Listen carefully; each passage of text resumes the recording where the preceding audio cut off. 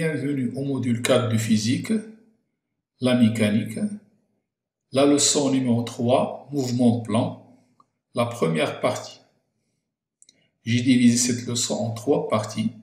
La première partie concerne le champ de pesanteur uniforme, la deuxième partie concerne le champ électrostatique uniforme et la troisième partie concerne le champ magnétique uniforme. Commençons par le mouvement d'un projectile dans un champ de pesanteur uniforme. On sait que c'est un objet soumis qu'à l'action de son poids et il est lancé sans vitesse initiale, il est en chute libre et sa trajectoire reste verticale. Alors, lorsqu'on le lance avec une vitesse verticale et toujours soumis à son poids, la trajectoire reste toujours verticale. Tant qu'elle est lancée sans vitesse initiale ou bien avec une vitesse initiale verticale, la trajectoire reste toujours une droite verticale. On peut se demander que se passe-t-il si l'objet est lancé avec une vitesse initiale dont la direction n'est pas verticale C'est le sujet de cette leçon. C'est le mouvement d'un projectile dans un champ de pesanteur uniforme avec une vitesse initiale qui n'est pas verticale. Donc la première partie de cette leçon mouvement plan, elle concerne le mouvement d'un projectile dans le champ de pesanteur uniforme. Le champ de pesanteur est uniforme s'il garde la même direction, le même sens et la même intensité partout où le mouvement est étudié. On sait que le champ de pesanteur est noté G, vecteur. Ce champ possède la même direction que le poids, donc il est vertical. Le même sens que le poids, il est dirigé vers le bas et il va garder la même valeur en tout point de l'espace où le mouvement est étudié. Prenons un exemple. Toutes les relations qu'on va voir dans cette leçon ne sont pas à prendre, c'est la méthode qui est à prendre. Car les relations changent ou bien les formules changent en fonction des conditions initiales. Je vais prendre un cas général, par exemple, si on lance une bille supposée ponctuelle d'un point haut avec une vitesse initiale V0 faisant un angle alpha avec la ligne horizontale. C'est-à-dire, je prends une bille qui est ponctuelle sous forme d'un point, je la lance à partir d'un point haut avec une vitesse initiale qui n'est pas verticale. Cette vitesse fait un angle alpha avec la ligne horizontale, comme le montre le schéma suivant. Donc, je prends une bille et je la lance à partir de haut avec cette vitesse initiale.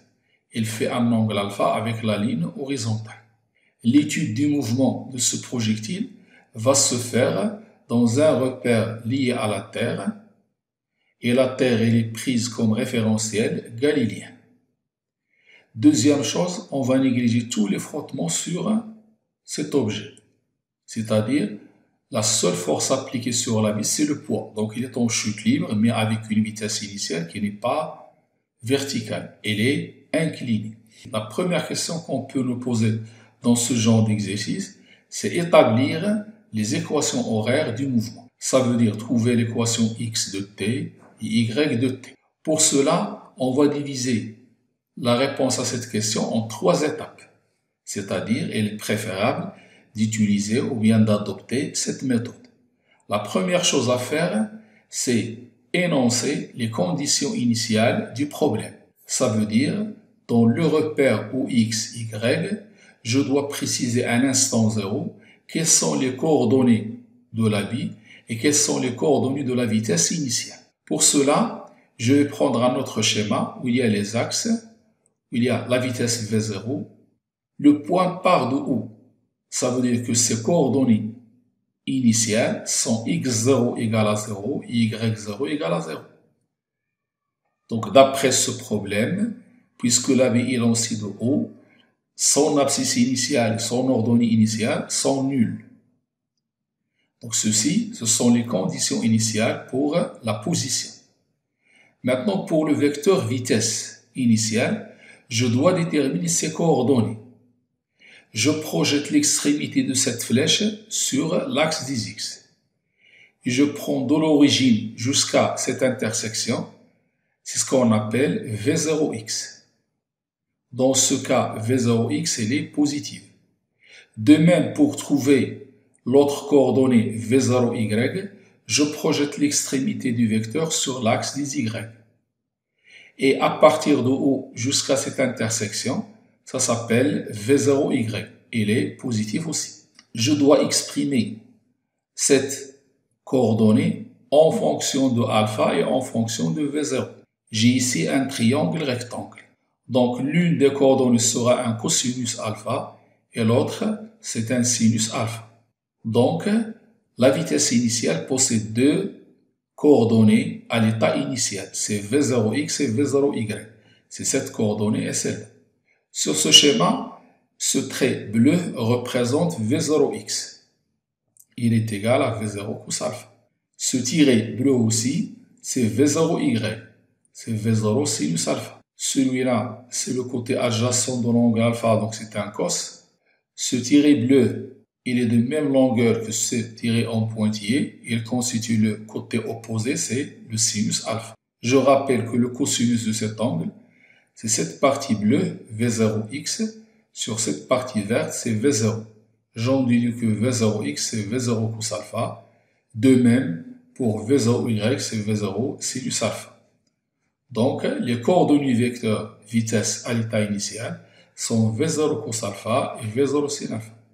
Je rappelle que si vous commettez une faute dans les conditions initiales, tout le problème sera faux. Donc il faut faire bien attention aux conditions initiales.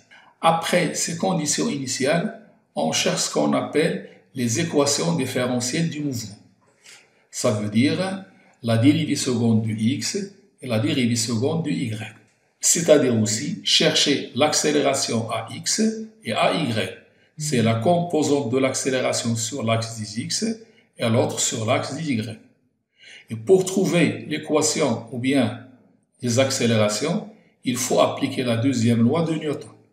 Pour cela, la bille n'est soumise qu'à l'action de son poids. Et on lui applique la deuxième loi de Newton dans un référentiel terrestre supposé galiléen. Le schéma suivant résume la situation. Une bille avec le poids vers le bas, les deux axes ou x ou y. L'application de cette relation veut dire la somme des forces égale MAG, puisque la seule force c'est P, donc c'est P égale à MAG. P c'est M fois G, le M se simplifie, elle reste AG égale à G. Tout à l'heure nous avons dit que le vecteur G possède la même direction que P et le même sens que P. Et puisque AG égale à G, donc ce vecteur-là représente en même temps le champ de pesanteur et il représente aussi l'accélération. Toujours après cette étape, on passe à la projection de l'accélération sur les deux axes. C'est-à-dire, je projette A sur X et A sur Y. La projection de A sur X, c'est Gx. Et comme G est perpendiculaire à l'axe des X, sa projection il est nulle. Donc AX, c'est la dérivée seconde de x égale à 0. La projection de G sur l'axe des Y, c'est moins G, puisqu'il est parallèle à OY et de sens opposé. Donc AX égale 0 et AY égale à moins G. AY, c'est la dérivée seconde de Y égale à moins G et c'est une valeur constante. Ceci, ce sont les équations différentielles du mouvement. Après les équations différentielles, on va chercher les coordonnées du vecteur vitesse. Tout à l'heure, c'était les coordonnées du vecteur vitesse à l'instant initial. Maintenant, on cherche les coordonnées du vecteur vitesse à n'importe quel instant autre que t égale à 0. Pour cela, les coordonnées du vecteur vitesse sont Vx et Vy. D'après ces équations différentielles, Vx c'est la primitive de Ax et Vy c'est la primitive de Ay. Donc si je veux Vx, j'intègre cette équation. Si je veux Vy, j'intègre cette équation. On dit donc les coordonnées du vecteur vitesse sont des primitives des coordonnées de l'accélération. Donc, il suffit d'intégrer ces deux équations par rapport au temps, c'est-à-dire l'intégration de cette équation et l'intégration de celle. Commençons par Vx sachant bien que ax, c'est x de point égale à 0. Donc, puisque ax est nul, sa primitive est une constante. ax égale à 0, x de point égale à 0. Donc, la primitive de ax, c'est vx, c'est-à-dire que Vx, la primitive de x de point, c'est x point, donc Vx, c'est x point égale à une constante. Si une grandeur est constante, il garde la valeur initiale V0x.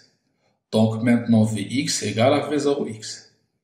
Pour AY, il est égal à moins G égale à une constante. La primitive d'une constante, c'est une fonction du premier degré. Donc Vy, c'est Y point, c'est la primitive de ça, c'est moins Gt, plus une constante qui s'appelle V0Y. Je rappelle les conditions initiales du vecteur vitesse V0x c'est V0 cos alpha et V0y c'était V0 sin alpha. Donc ces équations vont s'écrire de la façon suivante. V possède comme coordonnée Vx V0 cos alpha, c'est une constante. Vy c'est moins gt, au lieu de mettre V0y, on met V0 sinus alpha. Donc après les conditions initiales, les équations différentielles et les coordonnées du vecteur vitesse, on passe aux équations horaires demandées dans le premier paragraphe. Les équations horaires, ce sont les primitives du coordonnées du vecteur vitesse. Donc les coordonnées du vecteur position sont des primitives du coordonnées de la vitesse. Donc il suffit d'intégrer les équations précédentes.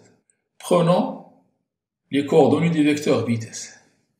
Je cherche maintenant x, c'est la primitive de cette constante. Et la primitive d'une constante, c'est une fonction du premier degré.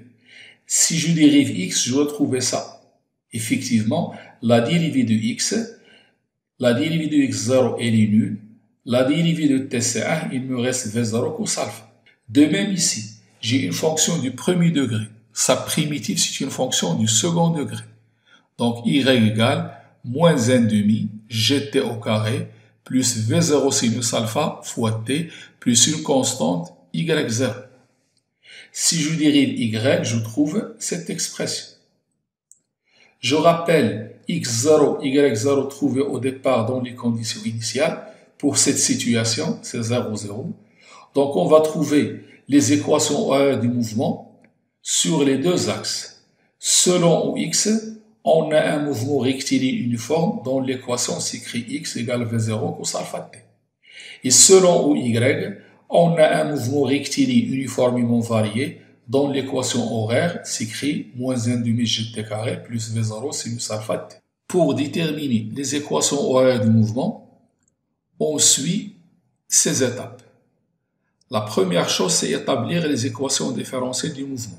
Ça veut dire chercher AX et AY en appliquant la deuxième loi de Newton et en la projetant sur les axes du repère choisi. Deuxième chose, chercher les coordonnées du vecteur vitesse, qui sont les primitives des équations différentielles. Et enfin, déterminer les équations horaires à partir des primitives des coordonnées du vecteur vitesse. Une fois qu'on connaît les équations horaires, on peut se demander quelle est l'équation de la trajectoire du mouvement. C'est la deuxième question inévitable dans les problèmes concernant le mouvement d'un projectile dans un champ de pesanteur. Pour cela, on doit établir une équation ou bien une relation entre y et x, c'est-à-dire une relation où il n'y a pas le temps. Donc l'équation de la trajectoire, c'est une équation dans laquelle le paramètre temps n'y figure plus.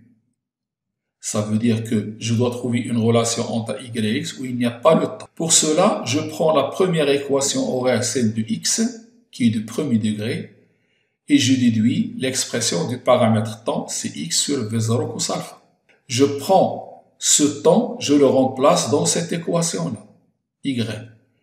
Moins 1 demi g, au lieu de mettre t au carré, je vais mettre x sur v0 cos alpha, le tout au carré, c'est ça plus V0 sinus alpha.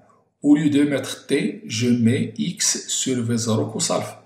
Donc j'obtiens moins Gx au carré sur V0 au carré cosinus au carré alpha. Le V0 se simplifie. Le sinus alpha sur cos alpha, c'est la tangente alpha. Le tout fois x. L'équation finale de la trajectoire est moins g sur 2 v0 au carré cos carré alpha fois x au carré plus tangente alpha fois x. C'est une équation du second degré. Chaque fois que l'équation de la trajectoire est du second degré, on dit que la trajectoire, elle est parabolique. Et elle se fait dans le plan X ou Y. Donc on aura une trajectoire de ce genre-là dans le plan X ou Y. La part du point O, il décrit une trajectoire parabolique. Les questions qui vont suivre ont une relation avec les points particuliers de la trajectoire, c'est-à-dire le sommet de la trajectoire et le point où la trajectoire coupe l'axe des X. On va commencer d'abord par le sommet de la trajectoire et en cherchant les coordonnées de ce sommet. On l'appelle aussi la flèche. Prenons la trajectoire précédente. On veut dire par la flèche cette hauteur. Ça veut dire l'ordonnée du sommet de la trajectoire. Pour chercher l'ordonnée du sommet de la trajectoire et l'abscisse aussi de ce sommet, on va s'intéresser au vecteur vitesse. Dans toutes les parties de la trajectoire, la vitesse est tangente à la trajectoire. Et particulièrement au sommet, la vitesse est tangente à la trajectoire, elle est horizontale. Ça veut dire, si je projette V au sommet sur l'axe des Y, je trouve 0. Ceci veut dire que VY au sommet, elle est nulle. Donc, au sommet de la trajectoire, le vecteur vitesse est horizontal. Donc, la composante VY de la vitesse s'annule. Il s'annule seulement en S et pas ailleurs. Donc, au sommet, j'ai l'équation VY égale à 0. Le paragraphe précédent, on avait défini le VY. C'est moins GT plus V0 sinus alpha. Dire que cette composante est nulle, on peut tirer l'instant TS, c'est V0 sin alpha sur G. C'est l'instant où la vie arrive au sommet. Maintenant, si je veux X ou bien Y, je n'ai qu'à remplacer le temps dans les équations horaires. Donc, on insère cette date dans l'expression des équations horaires. Commençons par X, c'est V0 cos alpha TS. Je remplace TS par V0 sinus alpha sur G. Ça me donne XS égale V0 au carré cos alpha fois sin alpha. Le tout divisé par G. Je rappelle une formule mathématique de trigonométrie sinus 2 alpha égale 2 sin alpha cos alpha. En physique et dans les problèmes de physique, on vous donne ces relations. C'est pas la peine de les apprendre, il faut seulement les utiliser. Donc, si j'ai sinus 2 alpha égale 2 sin alpha cos alpha, alors sinus alpha cos alpha, c'est sinus 2 alpha divisé par 2. Donc, je peux remplacer sin alpha cos alpha par sinus 2 alpha divisé par 2. Ce qui me donne pour l'abscisse du sommet V0 carré sinus 2 alpha sur 2G. Maintenant, pour trouver Y, je rappelle l'équation horaire sur l'axe des Y, moins 1 demi GT carré, V0 sinus alpha fois T. Chaque fois que j'ai le paramètre T, je le remplace par cette expression. Donc j'obtiens moins 1 demi G, cette expression au carré, V0 sin alpha sur G au carré, plus V0 sinus alpha fois T, c'est-à-dire fois V0 sinus alpha sur G. Ceci me donne moins V0 au carré sinus au carré alpha sur G au carré fois G. Le G au carré se simplifie avec ce G, il reste au dénominateur un G et un 2. Moins V0 carré sinus carré alpha sur 2G. L'autre c'est V0 carré sin carré alpha sur G. En mettant celle-ci au même dénominateur, on obtient YS égale V0 carré sin carré alpha sur 2G. Ceci est l'abscisse du sommet. Et YS, c'est l'ordonnée du sommet, c'est ce qu'on appelle aussi la flèche. On a donné les coordonnées du sommet. On va chercher maintenant le point où la trajectoire coupe l'axe des X. C'est ce qu'on appelle la portée. Donc ici, la portée, c'est cette distance de haut jusqu'au point P où la trajectoire coupe l'axe des X. Donc la portée, c'est la distance entre le point de départ et le point d'intersection de la trajectoire avec l'axe horizontal qui passe par le point de départ. C'est la portée D. Donc pour chercher la portée D, c'est-à-dire calculer cette distance, on dit que point P, Y égale à 0 y du point P, puisque la trajectoire coupe l'axe ici, Donc l'ordonnée de P, c'est 0. Donc YP égale moins G sur 2 V0 carré cos carré alpha x carré plus tangente alpha x égale à 0. Je peux factoriser par x. J'ai deux solutions. La première, x égale à 0, ça correspond au point O. C'est pas la solution cherchée. La deuxième parenthèse égale à 0, ça correspond à xp. Donc si je prends cette deuxième parenthèse, je trouve que xp égale 2v0 cos carré alpha fois tangente alpha sur g. On va transformer 2 cos carré alpha tangente alpha. Le cos carré fois tangente alpha, c'est cos alpha sin alpha. Donc j'obtiens 2 cos carré alpha tangente alpha, c'est 2 sinus alpha cos alpha, c'est-à-dire tout à l'heure c'était sinus 2 alpha. Donc je peux remplacer 2 cos carré alpha tangente alpha par sinus 2 alpha. D'où xp égale V0 au carré sinus alpha sur G. C'est la portée de la bille, c'est-à-dire la distance à laquelle la trajectoire va couper l'axe horizontal passant par le point de départ. On peut se demander quand est-ce que cette portée est maximale pour une vitesse donnée. Ça veut dire on ne change pas de vitesse initiale, mais on veut chercher pour quel angle alpha cette bille va tomber plus loin. Pour cela, on va dire que pour une vitesse initiale donnée, la portée est maximale lorsque sinus 2 alpha prend sa plus grande valeur, puisque V0 et G sont des constantes. Donc, pour avoir une valeur maximale de XP, il faut que sinus 2 alpha ait une valeur maximale. Et la plus grande valeur de sinus alpha, c'est 1 en mathématiques, lorsque le sinus d'un angle est égal à 1, ça veut dire que cet angle est égal à pi sur 2, 90 degrés. Donc le alpha, c'est pi sur 4. Pi sur 4, c'est 45 degrés.